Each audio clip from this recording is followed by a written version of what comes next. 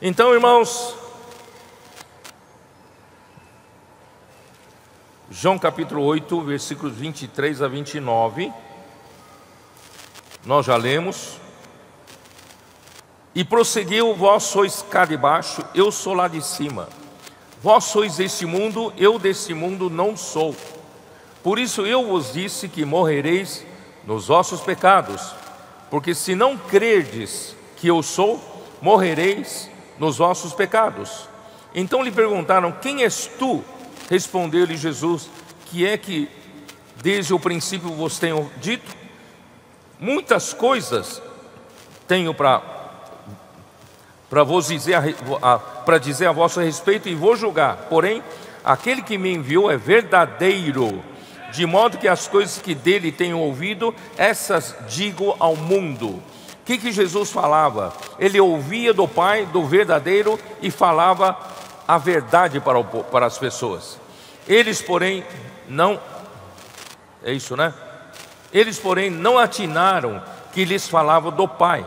Disse-lhes, pois, Jesus: quando levantardes o filho do homem, então sabereis que eu sou, e que nada faço por mim mesmo, mas falo como o Pai me ensinou, e aquele que me, ensinou, que me enviou está comigo, não me deixou só, porque eu faço sempre o que lhe agrada. Irmãos, na sua cegueira, eles não conseguiram ver que Jesus era o próprio Eu Sou.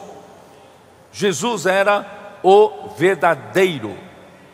Jesus era não só o Deus autoexistente, mas Ele é o Deus criador, Ele é o Deus que traz à existência as coisas que não existem, Ele é a própria existência. Por isso, irmãos, Ele conseguiu curar o cego. Se não fosse o eu sou, o verdadeiro não teria como curar, tá? Então, irmãos, a cegueira é o resultado da queda do homem por duvidar e desobedecer a palavra de Deus, comendo da árvore do conhecimento do bem e do mal. Irmãos, eu quero que vocês associem bem. A cegueira está relacionada à desobediência, está relacionada à rebelião. Jesus Deus disse para não comer da árvore do conhecimento do bem e do mal. A serpente colocou dúvida na cabeça de Eva e ela comeu e deu ao seu marido por desobediência. A cegueira entrou na humanidade. Vocês entenderam? A cegueira veio pela desobediência. A cegueira da humanidade veio pela, pela, pela transgressão transgressão à palavra de Deus. Dessa forma, o homem, por desobedecer a Deus, duvidar da palavra de Deus, em Gênesis capítulo 3, e desobedecer a Deus, comendo da árvore que Deus disse para não comer, o homem se desconectou de quem? Ele se desconectou do único verdadeiro o eu sou ele acabou se desconectando do verdadeiro, do eu sou, da própria existência, e ele se conectou a quem? Quando ele se desconectou do verdadeiro, ele se conectou a quem? Ao pai da mentira. Aí veio toda a cegueira a esse mundo. O mundo inteiro, irmãos, está cego. Todo mundo está cego. Por causa da dúvida que a serpente colocou em Eva quanto à palavra de Deus, e Eva e Adão, os dois desobedeceram a Deus, e pela desobediência, pela transgressão à palavra de Deus, veio a cegueira ao mundo. Então, capítulo 2, 2 Coríntios, perdão, 2 Coríntios uh, 4, 4, como diz? Senhor Jesus, 2 Coríntios 4, 4.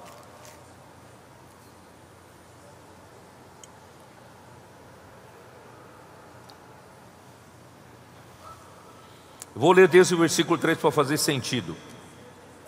Mas se o nosso evangelho ainda está encoberto, é para os que se perdem que está encoberto. Por que, que está encoberto? Porque está com véu. Por quê? Nos quais o Deus desse século cegou o entendimento dos incrédulos, os que não creem, para que lhes não resplandeça a luz do Evangelho da glória de Cristo, o qual é a imagem de Deus. Porque não nos pregamos a nós mesmos, mas a Cristo Jesus como Senhor e, a nós mesmos como vossos servos, por amor de Jesus. Porque Deus que disse: das trevas resplandecerá a luz, Ele mesmo resplandeceu em nosso coração, para a iluminação do conhecimento da glória de Deus na face de Cristo. Essa cegueira tem cura, graças a Deus. Então, em Gênesis capítulo 3, a serpente colocou dúvidas na mente de Eva, perguntando: é assim que Deus disse? Irmãos, cuidado com pessoas que ligam para você, começa a perguntar como vai, tudo bem, parece se preocupar com você, mas a intenção é colocar dúvida. Irmãos, desligue na hora. Não ouça as palavras da serpente. Será que Deus disse? Será mesmo que isso é a palavra profética? Será que tudo isso é isso mesmo? É, funciona mesmo? Irmãos, não ponha, não deixe que ponha dúvidas no tocante à palavra de Deus. Porque a hora que entrar dúvida, irmão, acabou. Né? Aí ofereceu a árvore do conhecimento a Eva, quando Eva comeu e deu ao seu marido Adão, ambos comeram, abriram os seus olhos e como Deus, eles sabiam, eles conheciam o que era o bem, o que era o mal. Irmãos, esse, esses olhos se abrirem não é coisa positiva, é a mente corrompida, a mente envenenada você se torna, quando você é envenenado, a sua mente é corrompida, você se torna uma pessoa extremamente questionadora, crítica, você começa a julgar todo mundo e você põe defeito em tudo, mas você não é feliz, você não está alegre, todo mundo em volta está desfrutando e você não. Em 1980, houve um problema, houve uma rebelião entre nós, já em 1980. E eu era jovem ainda, e muito, alguns jovens foram envenenados. Eu então passei a ou visitar ou telefonar para tentar ajudar esses jovens. E não tem como evitar, inevitavelmente, ouvir muitas queixas, muitas palavras negativas, Irmãos, eu procurei ajudar todos que eu podia, podia. Irmão, depois de ajudar, eu era positivo, ajudando, mas eu ouvi muita coisa negativa. Vocês entenderam? Aí por ouvir muita coisa negativa, eu percebi que de repente eu mudei.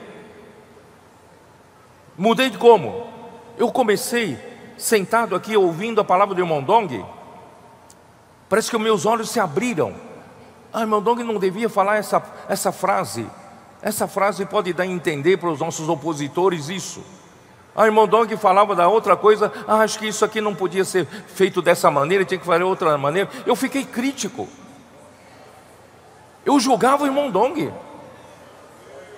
E eu sentado aqui, todos em minha, à minha volta, desfrutando alegre. E eu crítico. Eu era o único que não desfrutava, era o único crítico e só julgava as coisas. Irmãos, e o meu semblante foi caindo, foi ficando, né? Perdi, perdi a alegria. Irmãos, aí eu percebi que a morte tinha entrado em mim. Aí eu pedi para o Senhor, Senhor, pela, pelas tuas misericórdias, me salve dessa situação de morte. Irmãos, a morte é mais difícil de se curar do que um pecado. Se você cometeu um pecado, confessar seus pecados, o Senhor, né, Ele te perdoa. Mas a morte não. A morte demora um tempo para você se limpar. E você precisa ter um coração de querer se limpar. Vocês entenderam? Então, irmãos, eu levei algum tempo para me limpar.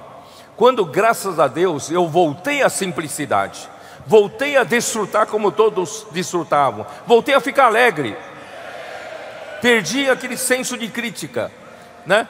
Aí eu orei ao Senhor, Senhor, nunca mais me deixe sair dessa simplicidade. Eu orei ao Senhor. Por isso, irmãos, não perca essa simplicidade. Não perca a pureza devida a Cristo.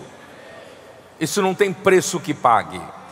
Porque o dia que você for contaminado, você vai ver o desastre que é deixar a morte te contaminar.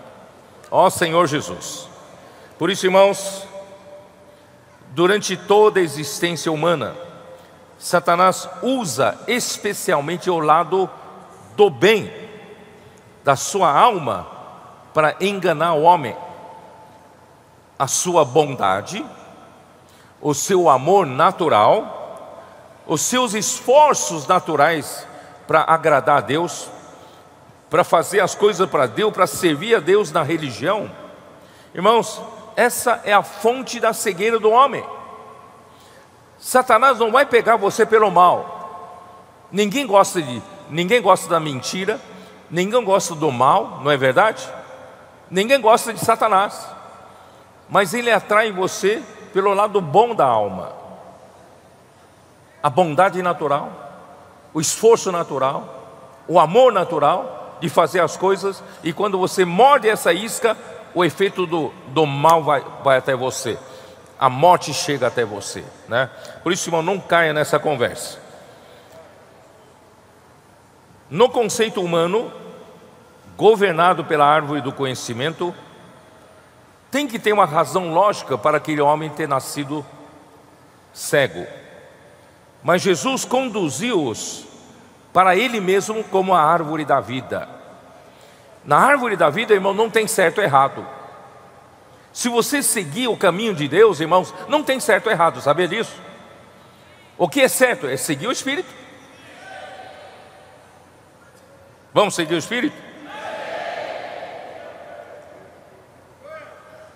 Irmãos, Jesus não veio à Terra para dar meramente ensinamento moral com regras humanas de comportamento. Ele quer se apresentar a nós, irmãos, como a árvore da vida.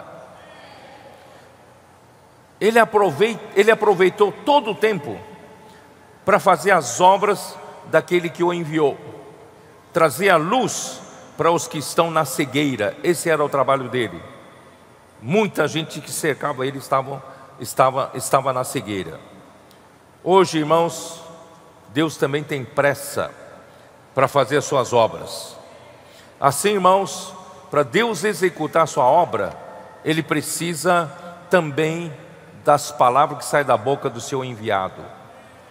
Assim como Jesus era o enviado de Deus, as suas palavras curariam a cegueira, as, as suas palavras faria a obra de Deus, daria para aqueles que creem a vida eterna.